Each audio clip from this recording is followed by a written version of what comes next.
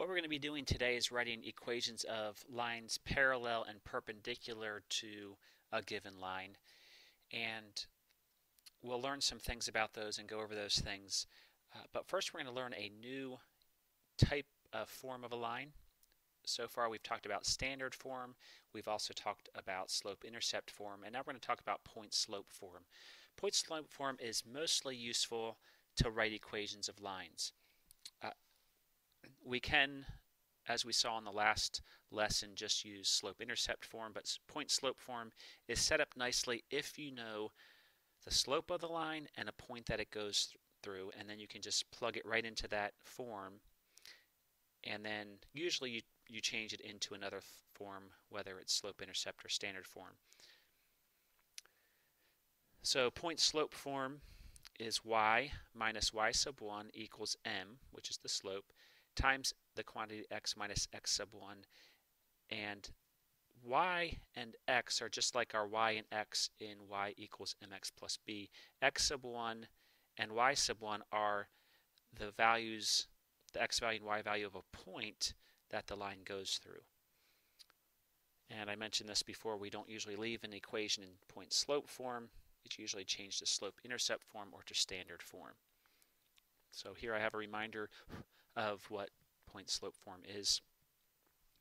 And then use point slope form of a linear equation to write the equation of a line passing through the points five, negative 5, 2 and 3, negative 4 in both slope-intercept form and standard form. So we're going to do that, and what we'll do, we'll use point-slope form. So we see here that we have y minus y sub 1 equals m times the quantity x minus x sub 1. Now what we need to do here first is we want to find the slope. We're not given the slope here. We're given two points. So we're going to find the slope and we remember that slope. So we're going to take a little pause here, do some work. Slope is y sub 2 minus y sub 1 over x sub 2 minus x sub 1.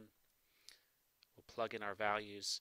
So we'll put in negative 4, so y sub 2 minus y sub 1, which is 2, over x sub 2 the 3 minus negative 5.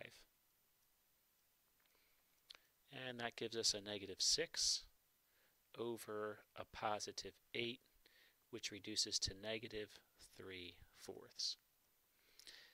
And so we found the slope of the line. Now what we're going to do is we're going to use this equation and one of our points. It doesn't matter which one, so let's just use the first one. So we have y minus y sub 1, which is 2, equals m, so m, which is our slope, which is negative 3 fourths, times x minus our x value, which is negative 5. So there's point slope form, but what we're going to do is we're going to change it to slope intercept form and then change it to standard form. So to change it to slope intercept form, we'll we'll go through our algebra here. We know, and maybe you could have, that's a 3 fourths. You got an x plus 5. We'll distribute that negative 3 fourths, so we have y minus 2 equals negative 3 fourths x uh, minus 15 fourths. And then we'll add 2 to both sides. Well, this 2 here, we're going to want this with a denominator of 4, so we'll go ahead and uh, multiply this by 4 over 4, which is 8 fourths. And so we're going to do negative 15 fourths plus 8 fourths to get our left side. So we have y equals negative 3 fourths x. Negative 15 fourths plus 8 fourths is negative 7 fourths. And so there's part of our answer. y equals negative 3 fourths x minus 7 fourths. Now what we want to do is we want standard form. I'm going to rewrite what we just found. And we want to remember that standard form, we want the x and y on the left side constants on the right side, and we don't want fractions. So let's go ahead and get rid of fractions right now. we'll do that by multiplying both sides by the least common denominator, which when we multiply both sides, we can multiply each term by that. And so we get 4y equals, when we multiply here, the 4 is reduced, so we have negative 3x. Same thing here, minus 7. And to get this in standard form, we're going to add 3x to both sides. And that way we'll have the x's and y's on one side and our constant on the other. Remember a couple things that we wanted with standard form. We would like our a to be positive, which it is. I should have reminded you that standard form is ax plus by is equal to c. So left on the left side we have our x term and our y term. On the right side we have the constant term. And so we can use this point slope form to write equations of lines. It's just another way to do it. We're going to do a little bit of an investigation here and then we'll do a couple examples. So lines in the same plane that have no points in common are parallel lines. So this first line is the definition or a definition. Lines in the same plane that have no points in common. So here on the right are parallel lines. What do you notice about the steepness of the parallel lines? So is one steeper than the other? Um, if so, which one? Well, we notice here that they're the same steepness. So parallel lines have the same steepness, but what measures steepness? Hopefully you remember that slope measures steepness. So we can conclude that parallel lines have equal slopes. They're the same steepness, they have equal slopes. So if we knew the, the slope of this one, if we knew it was negative 1 half, then we would also know this is negative 1 half because they have equal slopes. And now we can use this fact to write equations of lines that are parallel. Well, first of all, this one says determine whether lines 5x minus 2y equals 12 and negative 5 halves x plus y equals 10 are parallel. Well, in order to do that, what we can do, we don't have to graph them, we can just find their slopes. An easy way to find slope is to put things in slope-intercept form. So we'll take the 5x minus 2y equals 12. We'll put that in slope-intercept form. So we'll subtract 5x from both sides. And we have negative 2y equals negative 5x plus 12. And dividing both sides by negative 2, which is the same as dividing each term by negative 2, gives us y equals Negative divided by negative is positive, so we can write 5 halves x minus 6. The reason we did this is because we can easily know the slope. So the slope of this one is 5 halves. So if the, the slope of this one's 5 halves, if we find the slope of the other line is 5 halves, then we know they're parallel. Well, we're going to put this in slope-intercept form also, and then we can easily see what the slope of this one is. And so here we just want to solve for y, so we would add 5 halves x to both sides. And even just thinking through that, without doing all the work, you'll know that the slope is 5 halves. So it will end up equaling y equals 5 halves x plus 10. Here's our slope. Are the slopes the same? Yes, they're both 5 halves, so they are parallel. So we know those two lines are parallel. So we use the fact that parallel lines have equal slopes to determine if lines are parallel. We can also use that fact to write equations of lines. So write the slope-intercept form of a line that passes through negative 2, 8 and is parallel to this line right here. So this is a line in standard form. The line that we want is parallel to this line. So what do we know what is true about them? We know they have equal slopes. So if we find the slope of this line, we know the slope of the line we want to work with. And so what we're going to do is we're going to find the slope of this line. And I'm just going to do the work here. I'm going to put it in slope-intercept form. And because that will be easy to tell what the slope is, divide each term by negative 2. And the slope of our line is a positive 3 halves because a negative divided by a negative is positive.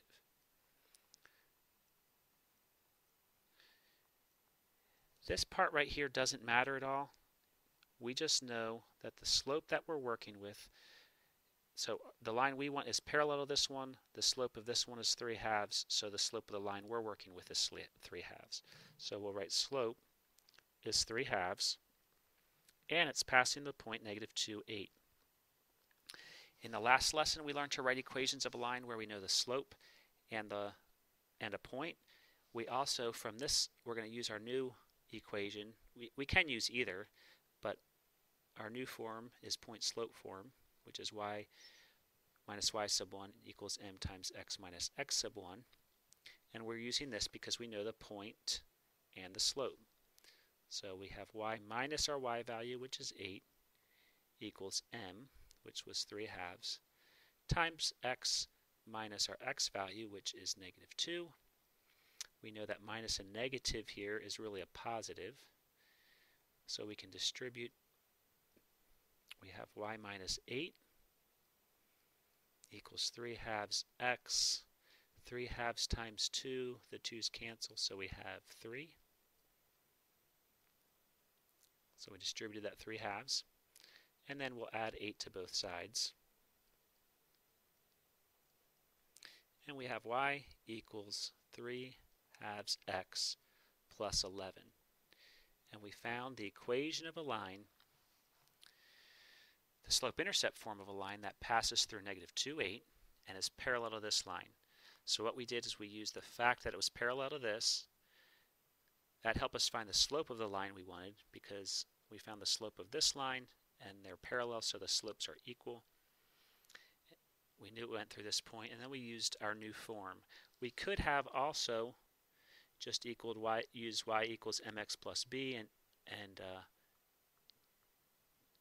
do what we learned in the last lesson where we can plug in the 8 for y, the slope, which was 3 halves, times x, which is negative 2, plus b.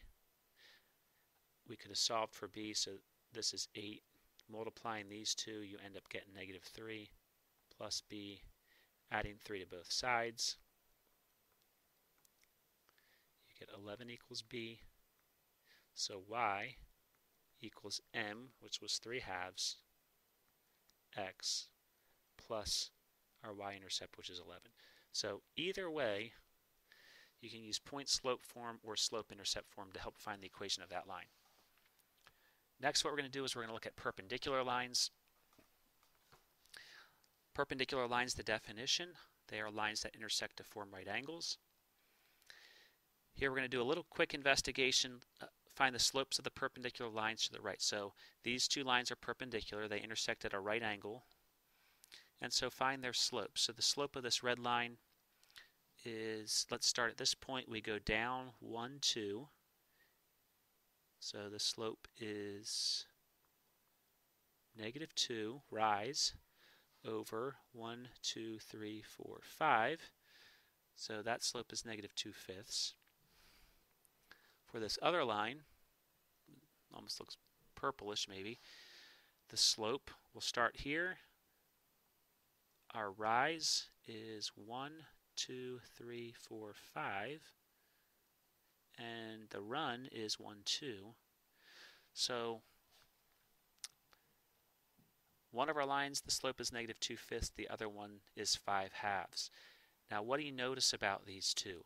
These, there's two things to notice. First of all, one of them's negative and one of them's positive. So their signs are opposite. And then they are reciprocals of each other. So what we can say here, the slopes of perpendicular lines are, we can say negative reciprocals or opposite, let's say opposite reciprocals.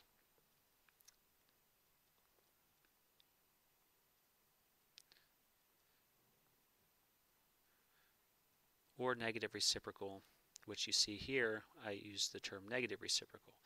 So just a quick practice, find the negative reciprocal of the following numbers. To find the negative reciprocal, this tells us you're going to switch the sign. So if it's positive, you're going to make it negative. If it's negative, you're going to make it positive.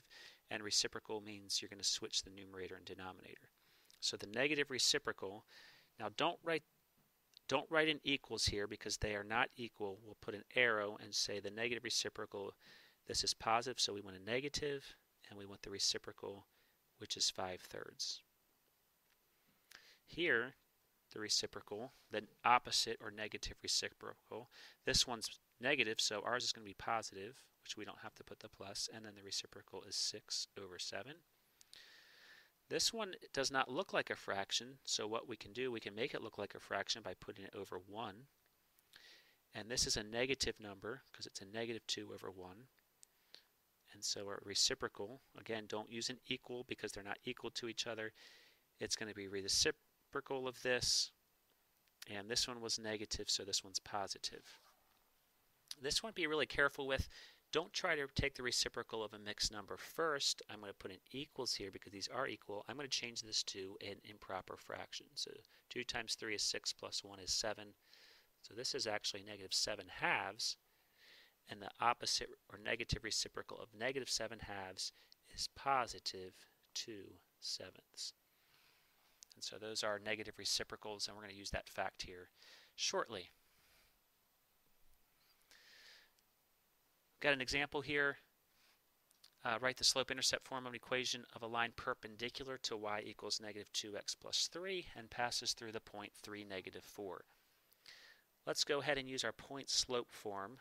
y minus y sub 1 equals m times x minus x sub 1 our slope goes in here. Well, the, the line we want is perpendicular to this line. The slope of this line is negative 2, so the slope of the line that we want is the opposite or negative reciprocal. So we want it to be positive, and the reciprocal of negative 2 is 1 half. So we use this slope in our equation. So we're going to put 1 half. We have y minus our y value, which is negative 4 equals 1 half x minus our x value, which is 3. And then we'll work through this. We have y minus negative 4, which is a positive 4. We'll distribute. So we have y plus 4 equals 1 half x multiplying here. We can think of this over 1, so we get negative 3 halves. We can think of this as a negative one and a half.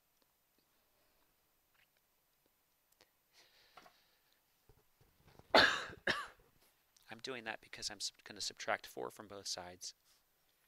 And it's easy to subtract these. And I'm going to go ahead and write our answer over here. y equals, we have 1 half x, and then a negative 1 and a half minus 4 is a negative 5 and a half. And so that is the equation of a line that's perpendicular to this line and passes through this point. And looking here, I can tell they're perpendicular because this slope is negative 2. This slope is its negative reciprocal. In conclusion, parallel lines are lines in the same plane that have no points in common. Parallel lines have equal slopes. Perpendicular lines are lines that intersect to form right angles, and their slopes are negative reciprocals of each other. So are the graphs of the following lines parallel, perpendicular, or neither? Well, let's find their slopes. So let's subtract 2x from here. I'm going to go ahead and put this in slope-intercept form so we know the slopes. So this is 5y equals negative 2x plus 9. Dividing each term by 5 would give us y equals negative 2 fifths x plus 9 fifths. What we're concerned with here, since we're trying to determine parallel, perpendicular, or neither, is we're looking at their slope. So the slope of this one is negative 2 fifths. And subtracting 4x from both sides here, we see that we have y equals negative 4x plus 1. And this slope is negative 4. Are they equal? Well, no, they're not equal, so it's not parallel. are they opposite or negative reciprocals? Well, they are not. They're both negative, so they're not negative reciprocals. And so the answer here is neither.